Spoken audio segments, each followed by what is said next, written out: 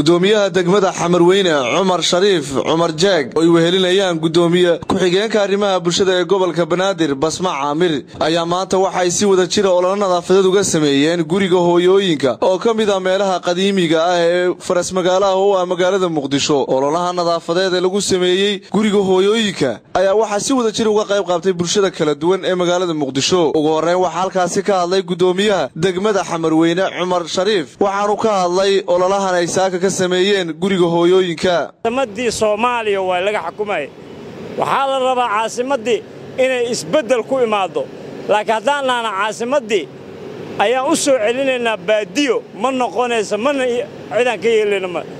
Insha allah waxaan ka rabnaa dhammaan meel kasta ee geedyuhuud ee gabbaad oo u yahay.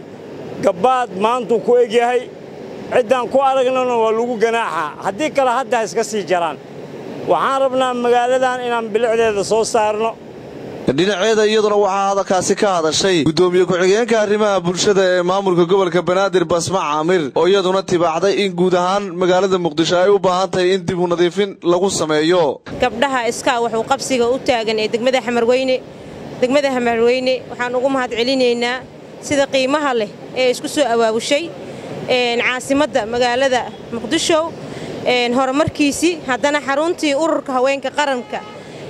Uu ku yaallo geedyahuud taasi looma dulqaadan doono.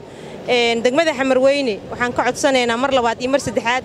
Xamarweyne waa meesha ugu muhiimsan caasimadda magaalada muqdisho qaar ka mid a ururka hooyooyinka ayaa iyaguna u mahad celiyey. Maamulka gobolka banaadir iyo maamulka degmada xamarweyne ee ololaha nadaafadda ka sameeyey saaka guriga hooyooyinka ee magaalada muqdisho. Ilaaha mahaddiisa waxaa mahad u celinaynaa maamulka gobolka banaadir ee horkacayso gudoomiye ku-xigeenka arrimaha bulshada basmo axmed iyo gudoomiyaha degmada marweyne gudoomiye cumar shariif dhagacadde gudoomiyaha ku-xigeenka arrimaha bulshada degmada xamarweyne waxay noogu soo gurmadeen dhibaatada naga haysatay qashinkan beelaan geyna waa weysaneen tabar waa u weynay.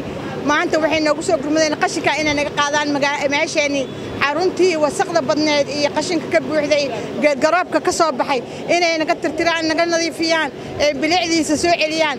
Ololahani nadaafadda ayaa waxaa ku soo beegmayaa xilli dib loo soo celinayo bilicda magaalada muqdisho. Axmed yaasiin maxamuud telefishinka star magaalada muqdisho